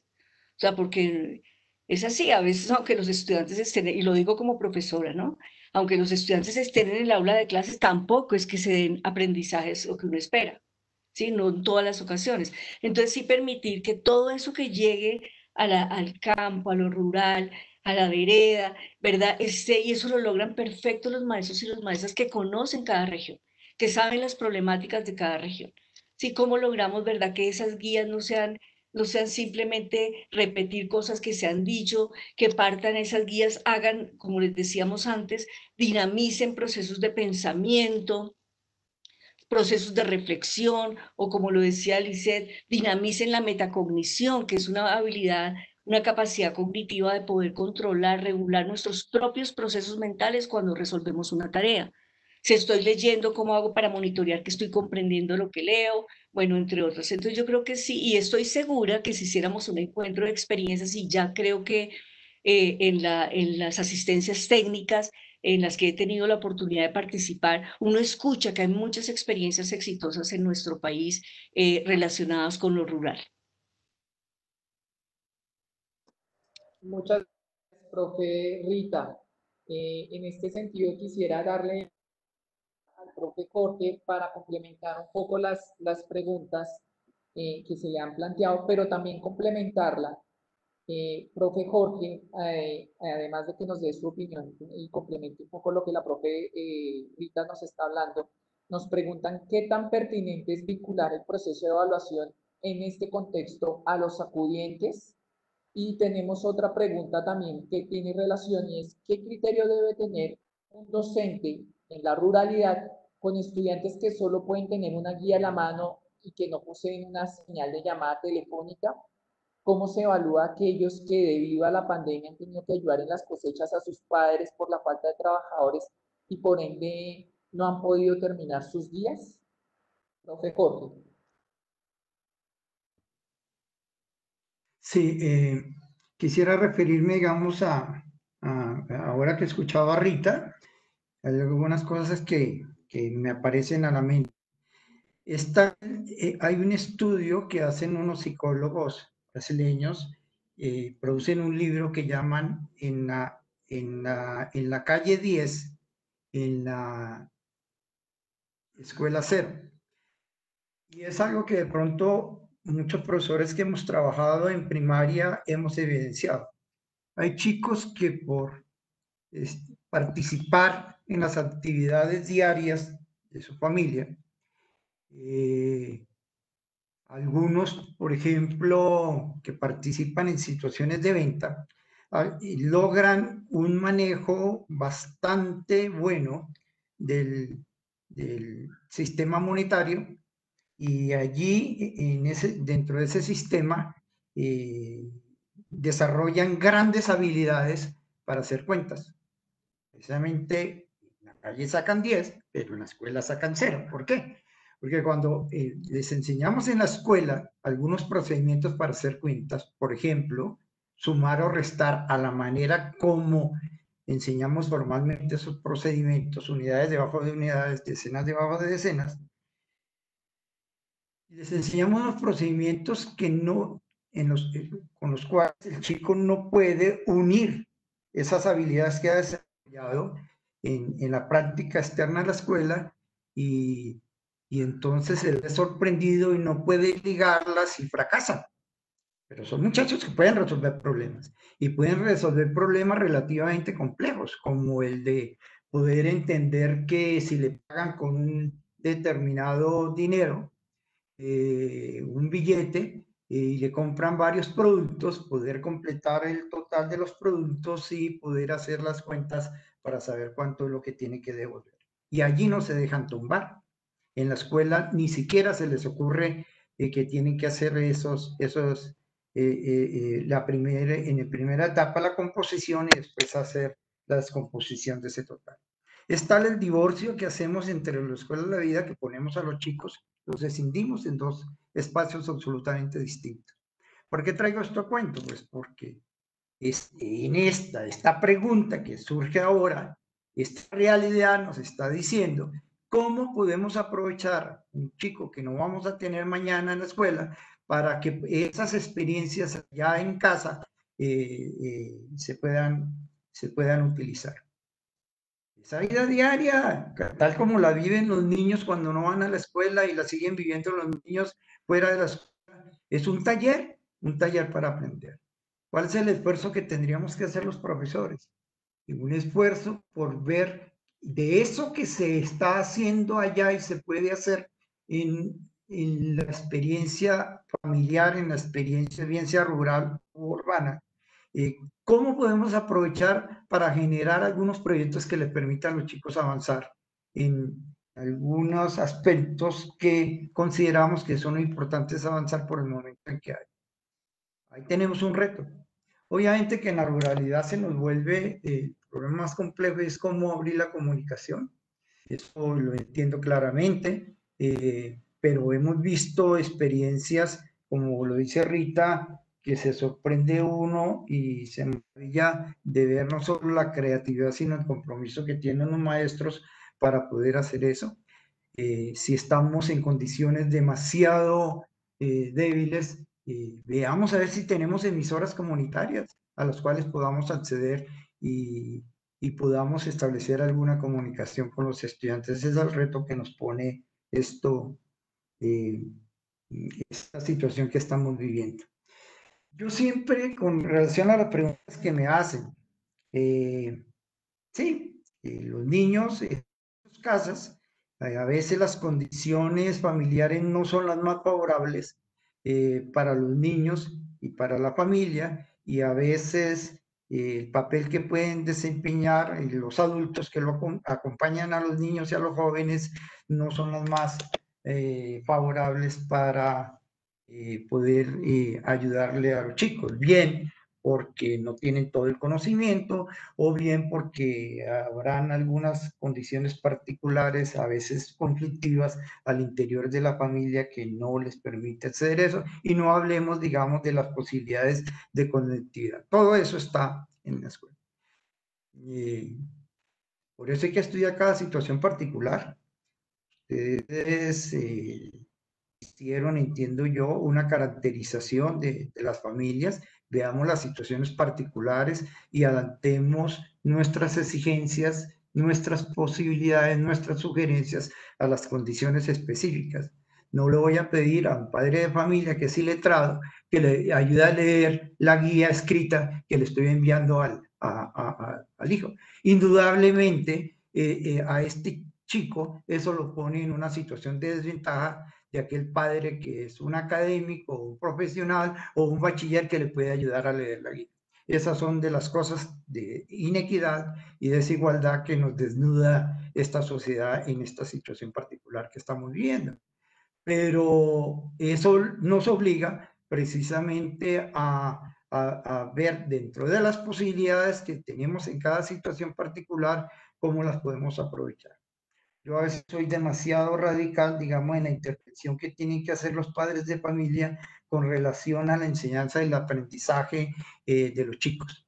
Eh, yo en situaciones normales siempre le recomendaba a los padres, ustedes no saben enseñar, nosotros fuimos los que estudiamos para enseñar, nos hicimos profesionales para eso.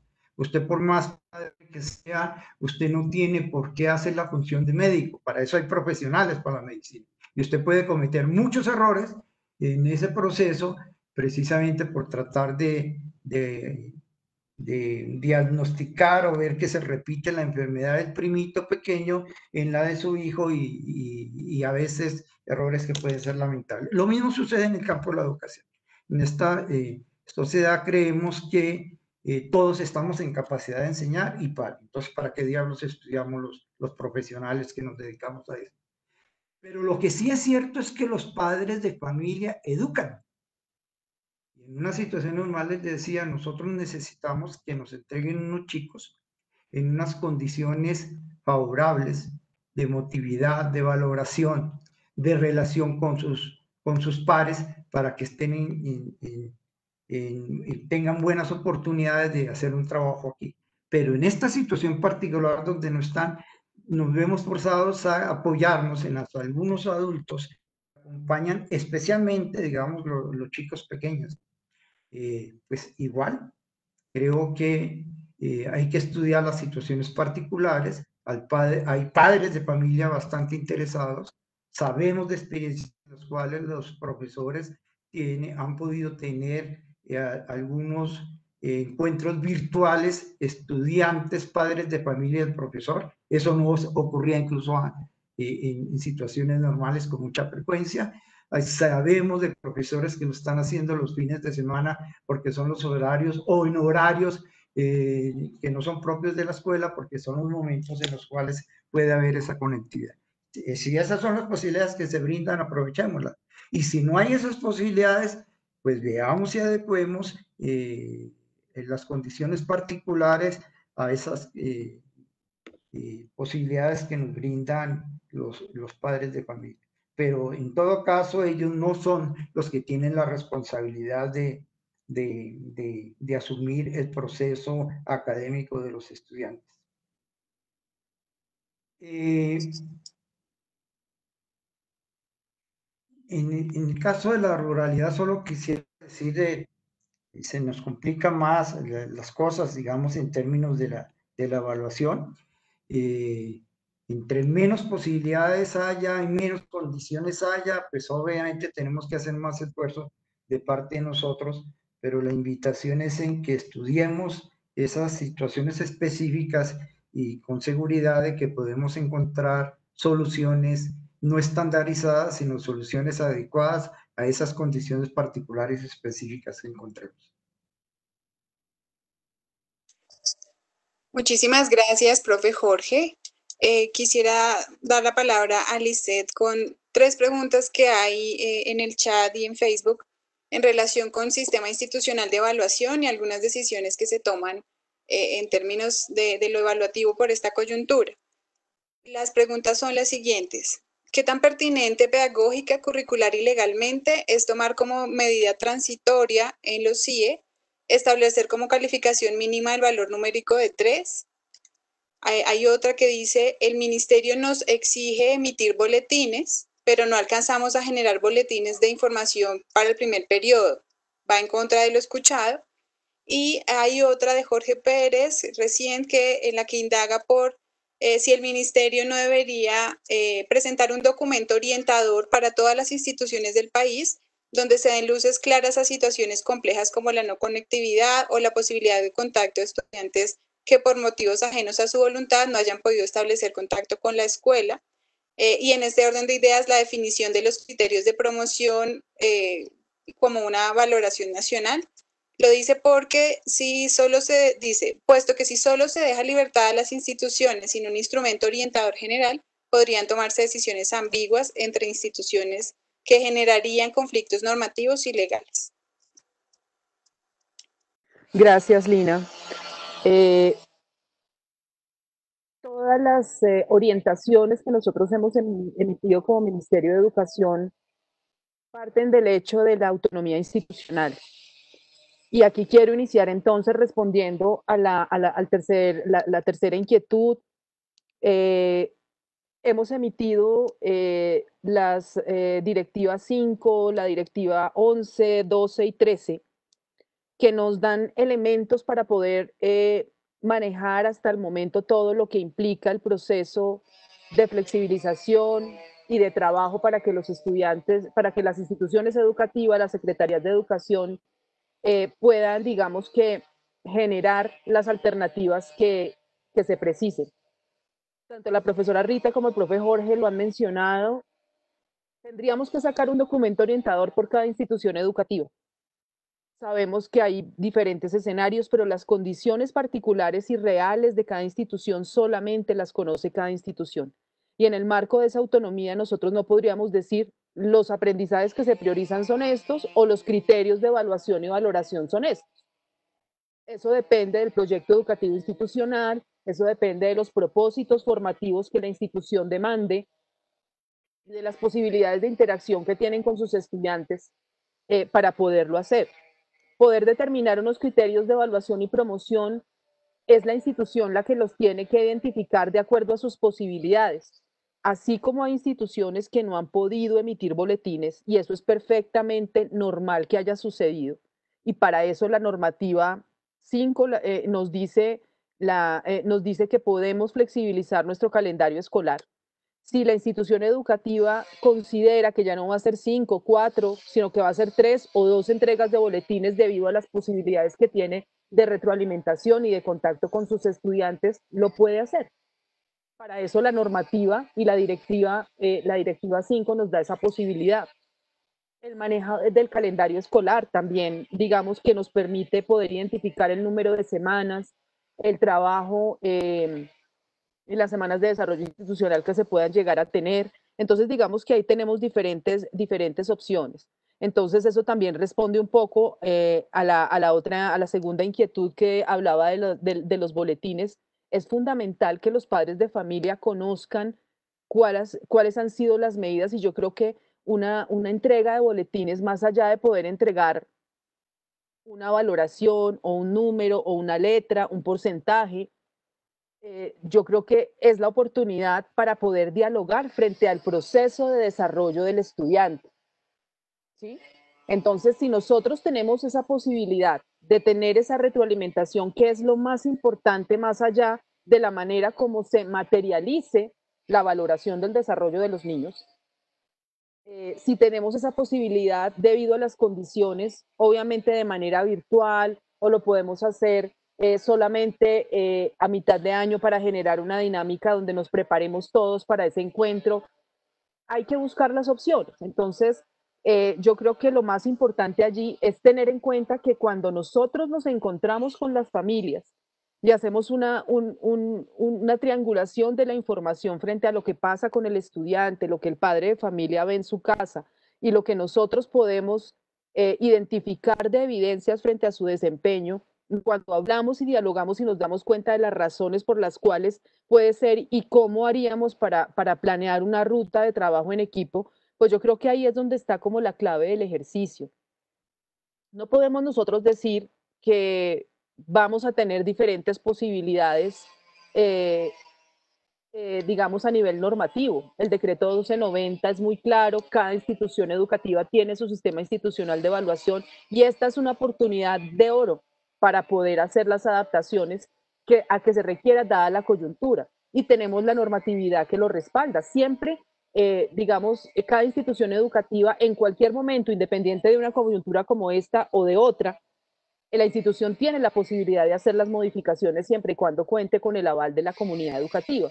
Entonces yo creo que es hacer uso de las herramientas y entender que la evaluación, más allá de una calificación, es la posibilidad de encontrarnos para poder caminar juntos y, poder planear caminos y rutas que nos lleven a, a mejorar los procesos de, aprendizaje de nuestros estudiantes y sus desarrollos.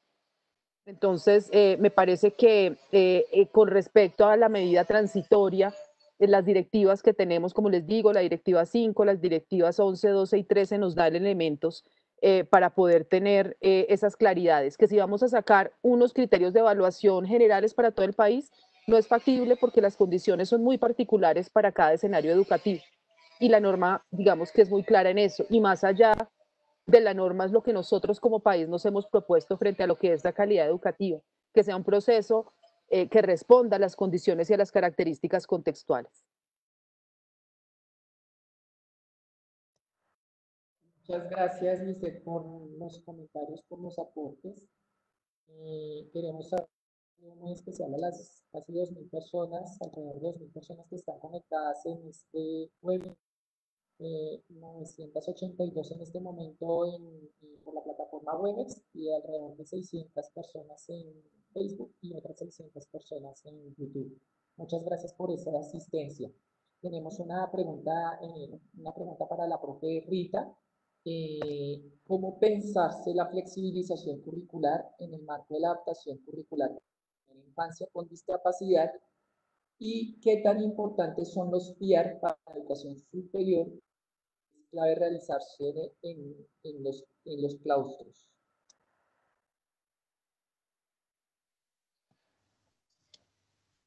Eh, bueno, entendí, es que se le oye un poco pasito, entonces no alcancé a entender bien las preguntas. ¿Me las puedes repetir, por favor? Claro que sí, profe. ¿Cómo pensarse la flexibilización curricular en el marco de la, de la adopción curricular de la primera infancia con discapacidad? ¿Y qué tan importantes son los PIAR para la educación superior? Y si es clave realizarlo en los claustros. Bueno, eh, pues eh, varias personas en varias eh, asistencias técnicas han preguntado por, el, por los estudiantes con discapacidad, ¿verdad? Aquí nos estamos refiriendo a la primera infancia, es decir, la primera infancia, todos sabemos en Colombia, está determinada de los cero antes de los seis, de los seis años.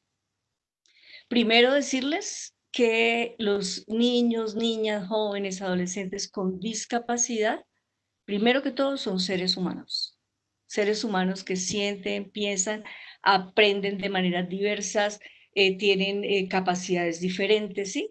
Entonces, si pensamos en la primera infancia, que es una época muy importante en el desarrollo y aprendizaje de niños y niñas con o sin discapacidad, eh, tendríamos que pensar, por ejemplo, en esa población de, de cinco años que están en transición y de cuatro años que pueden estar en jardín, bueno, la población de, primera infancia en la educación inicial, tenemos que pensar que ahí sí es que aplica muchísimo más la flexibilización curricular, ¿verdad? Eh, tenemos afortunadamente en el ministerio un trabajo sostenido en el tema de primera infancia, educación inicial, que nos proponen, digamos, unos lineamientos, eh, unos marcos curriculares para trabajar eh, en ese grupo de edad. Pienso, fíjense ustedes, voy a retomar un ejemplo que ponía el profe Jorge, que esa es la más favorable, digamos, para trabajar en casa. O sea, ¿por qué? Porque esa trayectoria educativa eh, puede ser, como decíamos, no escolarizada también. O sea, en los hogares ocurren prácticas, prácticas sociales, que el maestro y la maestra pueden promover en esta época, en estas circunstancias, que apoyan tanto el desarrollo y el aprendizaje de niños y niñas con discapacidad o sin discapacidad. El profe hablaba, por ejemplo, de una familia en donde la mamá y el papá no sepan leer ni escribir o su lectura y escritura sean muy, funcionales.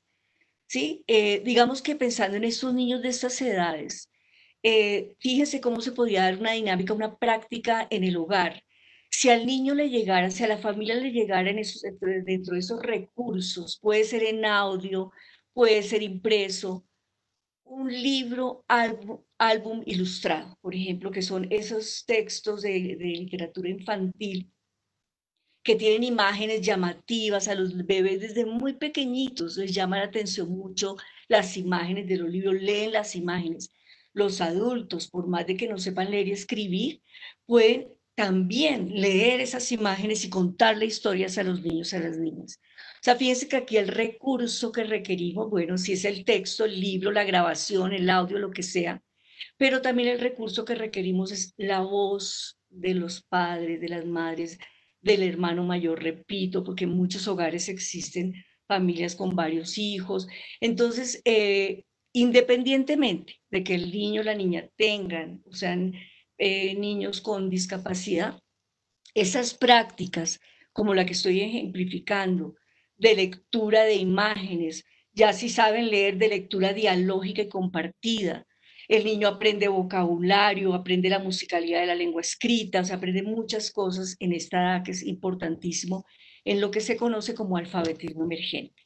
Dar recetas para los niños porque tienen discapacidad, más bien apliquemos principios del diseño universal. Los invito y las invito a que apliquemos los principios del diseño universal para el aprendizaje.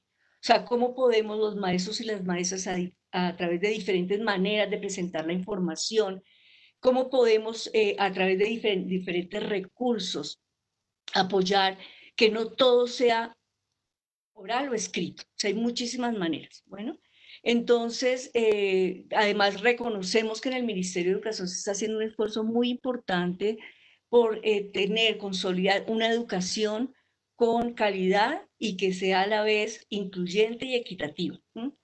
Eh, yo, ustedes todos saben que en Contacto Maestro pues se publicaron todo el programa de cualificación y formación del talento humano y les voy a poner tres ejemplos de unos diplomados que se van a ofrecer en el marco de la educación inclusiva. Hay más, pero por tiempo solo les voy a mencionar tres, porque es que la inclusión no solamente tiene que ver con estudiantes con discapacidad. Entonces, uno de ellos es una educación incluyente y equitativa para estudiantes con capacidades o talentos excepcionales.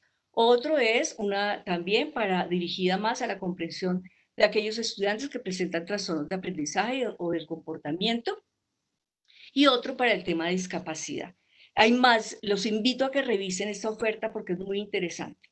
Eh, esos tres que les menciono, eh, digamos que los va a estar eh, manejando la Universidad Nacional de Colombia, pero ustedes pueden consultar otros para que vean y se den cuenta que el ministerio está también muy preocupado, no preocupado, que está muy interesado en promover los temas relacionados con la inclusión.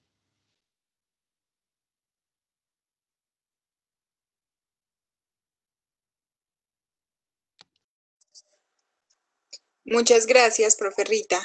Eh, nos quedan 10 minutos. Quisiéramos eh, plantear una, una, pregunta que está saliendo en muchos, en muchos de los canales que nos están acompañando y está relacionada con cómo hacer consciente al maestro y a los estudiantes de la necesidad de estos cambios y al maestro sobre todo en torno a la necesidad de resignificar sus prácticas y a los estudiantes en términos de motivar su participación a pesar de las circunstancias.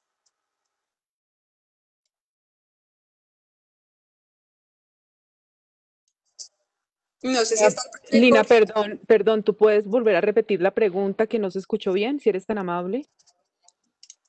Claro que sí. La pregunta está orientada a cómo hacer conscientes a los maestros de la necesidad de resignificar sus prácticas y al tiempo cómo motivar a los estudiantes para que participen.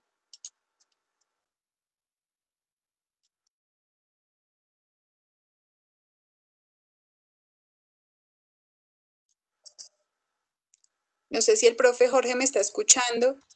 Sí, la escucho, pero, o sea, vamos a... ¿Cualquiera interviene? En principio para usted, profe. Ah, yo, perdón.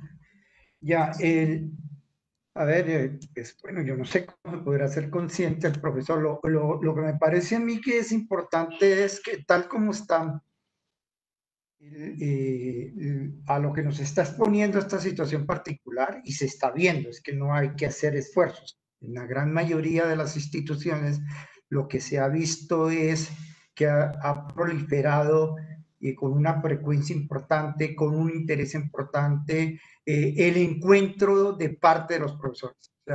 Es, es un poco paradójico lo que nos está sucediendo y nos está sucediendo para bien los profesores ahora se están encontrando mucho más que cuando estaban todos en, la escuela. Y tiene sus explicaciones.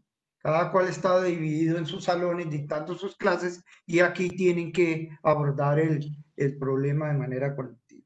Entonces me parece que en, en general lo que uno ve en muchas situaciones es que los profesores se han enfrentado a una situación y han querido resolverla y y han, desplegado un trabajo cooperativo, colaborativo para poder eh, avanzar en esa dirección. Y como todos los movimientos sociales, eh, el grupo que, que, adelanta, lidera el proceso, eh, no es la totalidad, puede ser minoritario a veces o puede ser un poquito mayor, pero poco a poco eh, otros se van plegando, van entendiendo las razones, digamos, de ese proceso. Cierto es que las circunstancias nos están exigiendo a nosotros, no es que queramos, sino que es que nos toca flexibilizar, porque si no, no tenemos ninguna otra opción de, de poder avanzar.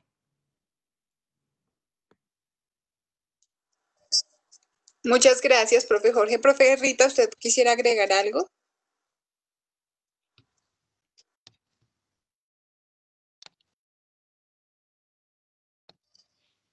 Eh, no, señora.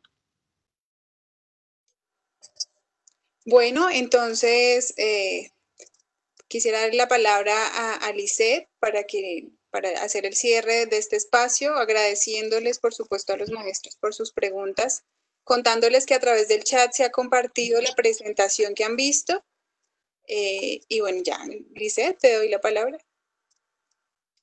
Vale, Lina, muchísimas gracias. Eh, pues eh, digamos que lo que en este momento nos motiva y nos llena de razones para nosotros como maestros movilizarnos, toda esta situación ha generado que, salga de nosotros como educadores lo mejor que cada uno tiene de sí para lograr llegar de manera diferente, asertiva, eh, dinámica a nuestros estudiantes porque ya no tenemos el control. Hoy simplemente nos apagan la pantalla y ya no estamos, o simplemente los niños están dedicados a las labores eh, agrícolas con sus padres, o simplemente no tenemos eh, ese llamado a la, a la conexión en este momento. Yo creo que eh, pensar en, resignificar la práctica nos lleva, como lo decía el profe Jorge, a que necesariamente estemos todo el tiempo en un diálogo con nuestros pares académicos. Solamente nosotros conocemos a nuestros muchachos cuando estamos en el salón de clase, eh, cuando trabajamos por diferentes áreas de manera independiente, vemos cosas que muy seguramente otros docentes no ven eh, cuando tenemos la posibilidad de, en ese diálogo, generar estrategias que sean motivadoras para ellos, integradas, que les resignifiquen su quehacer en, el hogar o en sus labores, eh, yo creo que ahí tenemos un punto de conexión con nuestros estudiantes. La motivación o la desmotivación siempre van a estar presentes porque hay situaciones que se escapan de nuestro radar que siempre van a afectar los procesos y más hoy en día no vamos a tener la posibilidad de mirarnos a los ojos y de generar procesos de reflexión. Pero yo creo que eh, tenemos la posibilidad de, aprender a sonreír con los ojos también, de, poder generar estrategias eh, que sean realmente llamativas, estrategias que, son, que ponen en escena toda la posibilidad que nosotros como educadores tenemos. Y, es importante tener en cuenta también que, que, difícilmente eh, los países han logrado eh, llegar eh, a las casas y a los hogares de cada uno de los niños, niñas y adolescentes del mundo.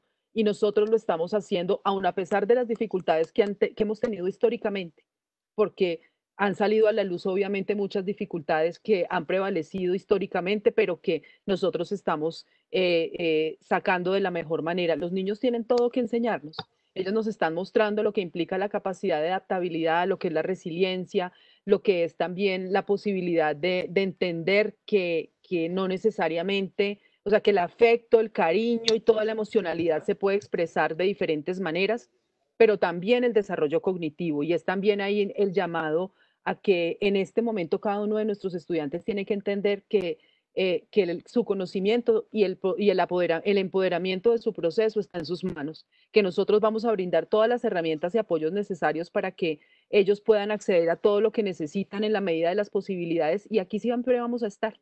Entonces, eh, agradecer muchísimo de verdad a todas las personas, contarles eh, de pronto ya para terminar que nosotros tenemos diferentes espacios eh, de este tipo de reflexiones. Justamente de hoy en ocho días vamos a contar eh, con, la experiencia del profesor Max Moder, que es chileno, él es curriculista y, maneja todos los procesos curriculares de Latinoamérica a través del convenio Andrés Bello, y va a estar con nosotros justamente en esta misma reflexión de hoy en ocho días.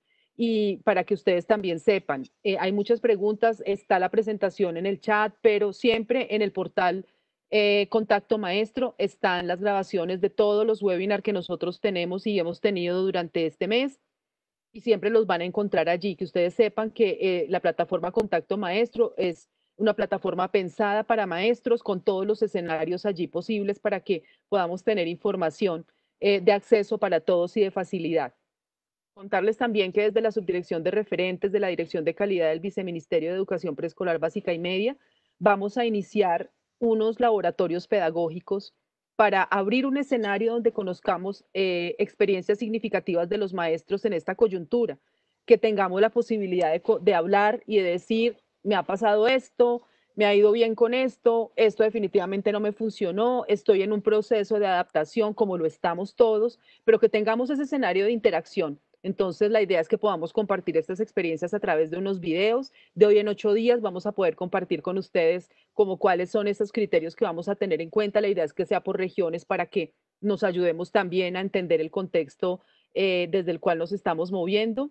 Eh, para que sepan pues que siempre estamos aquí eh, muy presentes, teniendo claro que la labor de maestro requiere de estar acompañado también de la mano y, el, y, el, y de esa comprensión dialogal entre pares. Muchísimas gracias para todos. muchas gracias a todos los panelistas, los conferencistas que nos acompañaron el día de hoy en esta actividad. También queremos agradecerle a los participantes por su participación, por enviarnos tantas preguntas, en especial a las personas que nos están acompañando por Facebook Live, que también tuvimos más de 600 personas conectadas con esta actividad.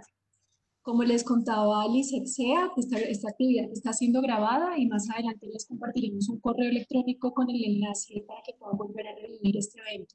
Pero también a través del chat les hemos estado compartiendo el enlace de contacto maestro en el que también van a poder conocer van a poder volver a vivir este, este evento y conocer otras actividades que tenemos programadas. Por ejemplo, para la próxima semana, para el martes 16 de junio, tenemos la conferencia Recuperación del Saber de las Familias en la Educación Inicial. A las 9 de la mañana los esperamos en esta actividad. El jueves, como lo comentó también SEA, tendremos a las 10 de la mañana la segunda parte de esta temática.